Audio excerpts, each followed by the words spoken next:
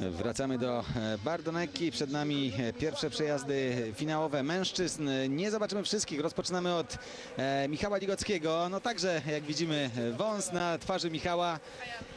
Pozdrowienia od polskich snowboardzistów dla Adama Małysza.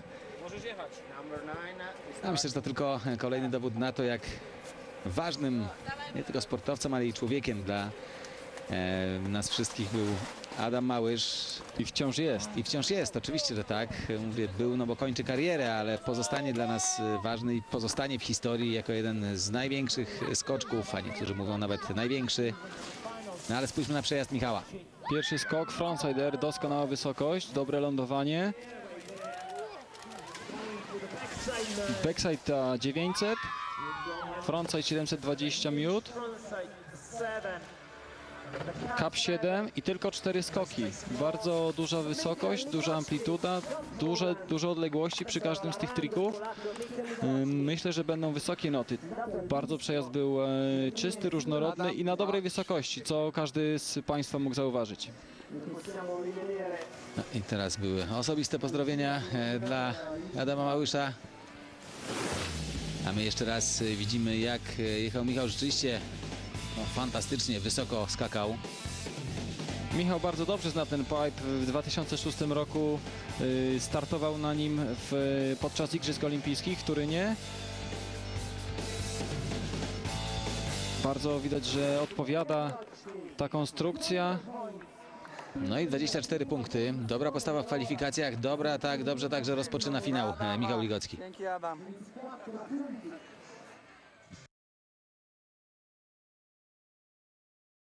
Francuzów i czwarty w tej chwili Michał Ligocki. Michał Ligocki, który zaraz e, powinien nam się pokazać w pipe. No i Michał musi w tym momencie atakować, nie ma nic do stracenia. Y, Przeczesuje wąsa przed startem. Miejmy nadzieję, że to przyniesie szczęście. Trzymajmy kciuki za Michała.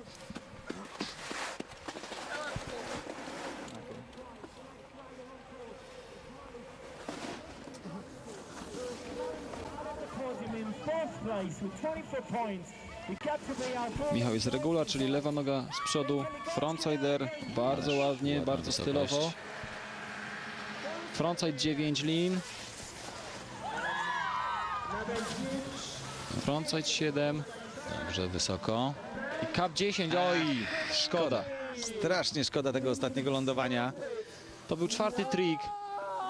Bardzo szkoda, bo gdyby to reakcji tą Michała, że dziesiątkę, jemu też bardzo szkoda. gdyby tą dziesiątkę wylądował, myślę, że mógłby tutaj e, myśleć o trzecim miejscu. No w tej sytuacji chyba nie będzie wyższej noty niż za e, pierwszy przejazd. E, tam było 24. No i teraz e, wiemy, że e, musiałby mieć notę lepszą niż 25 i 2. Tyle ma Artur Longo za pierwszy przejazd. Zobaczmy tutaj na zwolnione tempo, powtórkę tych trików. Ach, szkoda, wielka Bardzo szkoda, bo zabrakło. Michał dzisiaj bardzo swobodnie jechał w pipe. No tak, Również tylko odpowiada 17. mu ta konstrukcja. 17 punktów. Zostaje na czwartej pozycji i pozostanie już na czwartej pozycji, bo teraz przed nami dwaj zawodnicy, którzy i tak są przed nim, a więc Artur Longo i Nathan Johnston. Yy, nie ma już żadnego zawodnika. Sędzia może swobodnie postawić dziesiątkę, ponieważ nie jest zagrożony kolejnym zawodnikiem, który mógłby teoretycznie lepiej pojechać.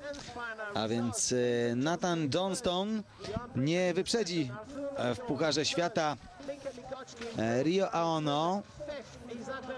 A nie. Wyprzedzi, wyprzedzi, tak, bo będzie miał 3060 punktów, a Rio Aono pozostaje 2800. No i będzie ciekawa walka na ostatnich zawodach Waroza. Ten sprawa Pucharu Świata.